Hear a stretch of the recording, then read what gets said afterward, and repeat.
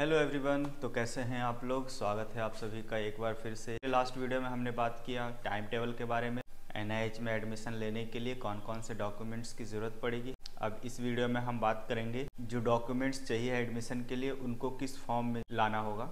ये जो प्रोस्पेक्टस है, उस प्रोस्पेक्टस में पेज नंबर 51 से लेके 67 तक की आपके काम की चीज़ है। मैं आपको रेकमेंड करूँगा कि 51 पेज से लेकर के 67 तक आप सबकी दो दो कॉपी निकलवा लें। एक कॉपी आपको कॉलेज में जमा करनी है और दूसरा कॉपी आपको अपने पास रखना है। फॉर द पर्सनल यूज़ ये है बॉन्ड पेपर एनेक्स्चर टू में दिया हुआ पचास हज़ार का बॉन्ड पेपर इसको आपको प्रिंट कराना होगा और प्रिंट करवा के आपको कोर्ट में जाके फिर इस पर सारे प्रोसेस करवाने होंगे। स्टैम्प होना चाहिए लीगल स्टैम्प ये होना चाहिए हंड्रेड रुपीज़ के स्टैम्प पेपर पे। और इसका काम क्या होता है ये मैं आपको बताता हूँ। जैसे कि आपने एडमिशन यहाँ ले लिया, आपने डॉक्यूमेंट्स जमा कर दिया, उसके बाद आपको मन किया कि नहीं, मुझे यहाँ एडमिशन नहीं लेना है, कहीं और लेना है राउंड टू में। या फिर बीच, अगर आप स्टडी कर रहे हैं, बीच में आपका मन बदल गया, आप जाना चाहते हैं यहाँ से छोड़ के।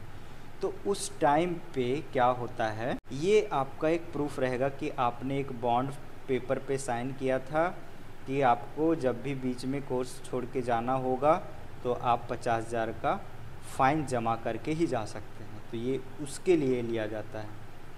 तो ये आप ध्यान में रखिएगा एडमिशन लेने से पहले। तो यहाँ पे आपका नाम, सिग्नेचर, एड्रेस सब कुछ होगा। और यहाँ पे दिया गया है विटनेस।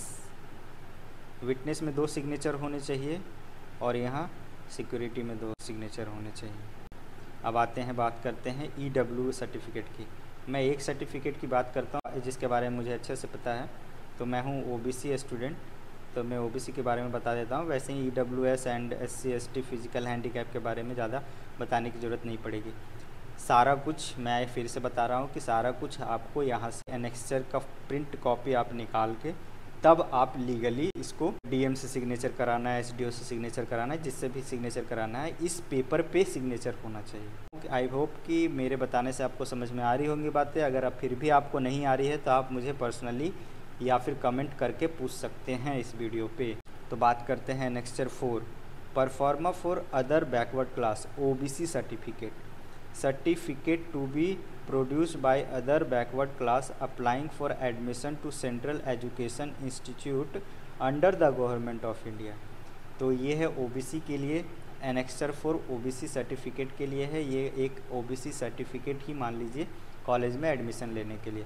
तो इसका आपको प्रिंट आउट निकलवा के, उसके बाद कास्ट सर्टिफिकेट बनवा के, फिर आपका यहाँ पे लास्ट में एक दिया होगा। डिस्ट्रिक्ट मजिस्ट्रेट का सिग्नेचर और उसका सील होना चाहिए। जब आप करवाएँगे ये काम तो ये सील ज़रूर देख लीजिएगा। यहाँ पे काफ़ी लोग धोखा खा जाते हैं। इसके बाद यहाँ पे ऊपर में दिया गया है, आपका नाम भरना है, आपके फादर का नाम भरना है, विलेज और टाउन कहाँ से बिलोंग करते हैं, वो सारी चीज़ें आपको भरनी है, नीचे भी वही चीज़ है। यहाँ पे आपका डेट और यहाँ पे आपका टीएम का सिग्नेचर और वहाँ का सील होना बहुत ज़रूरी है। उसके बाद डिक्लेरेशन आपको देना है ओबीसी कैंडिडेट होने का। इसका भी आपको प्रिंट आउट करवा के यहाँ पे आपका सिग्नेचर लगेगा टाइम और डेट प्लेस लगेगा। नीचे आते हैं नेक्स्ट सिक्स में तो एस सी वालों के लिए दिया गया है, जिस तरह से ओबीसी का था, उसी तरह से एस सी वालों का भी है। वहाँ भी सिग्नेचर होना चाहिए place date name with the seal of office ये सब होना चाहिए सिग्नेचर और डेजिग्नेशन होना चाहिए। अब आते हैं फ़िज़िकल हैंडीकैप की बातें। Certificate of the disability annexure seven में एक फ़ोटोकॉपी की ज़रूरत पड़ेगी। अब आते हैं मेडिकल सर्टिफिकेट एनेक्सचर एट में मेडिकल सर्टिफिकेट तो जब भी आप एडमिशन लेने के लिए आइएगा यहाँ पे, यही वाला प्रिंट आउट लेके आना है आपको। जो भी काम होगा, इस प्रिंट आउट पे होगा। प्रोसेस बता रहा हूँ कि एनेक्सचर एट का एक प्रिंट आउट आपको निकलवा के आपको फिर से जाना होगा हॉस्पिटल वहाँ पे सिविल सर्जन से आपको साइन करवाना होगा और वहाँ का सील होना कंपलसरी है। सील और सिग्नेचर, दो चीज़ होना बहुत ज़रूरी है हर डॉक्यूमेंट्स पे। जैसे medical certificate, OBC certificate, EWS certificate, SC, ST, physical handicap, जो भी है। आई होप कि इतना बोलने के बाद आपको बातें समझ में आ रही होंगी। चलिए अब आगे बढ़ते हैं। एनेक्सचर नाइन पे आते हैं। एनेक्सचर नाइन पे यहाँ पे दिया गया है अबाउट द हॉस्टल परफॉर्मा तो गर्ल्स हॉस्टल की बात की जाए तो वो तो अभी नहीं मिलेगा आपको।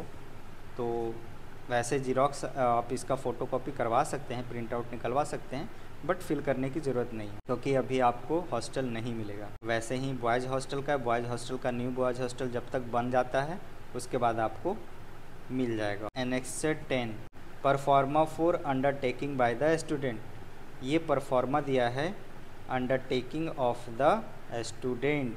वो भी एक चीज़ यहाँ पे फिर से मैं मेंशन कर देता हूँ। यहाँ पे आपको दस रुपये के स्टाम्प पेपर पे बना के लाना होगा, अंडरटेकिंग बाय द स्टूडेंट। और फिर यहाँ पे आते हैं, अंडरटेकिंग बाय द गार्जियन। वो भी टेन रुपीज़ के स्टैम्प पेपर पे।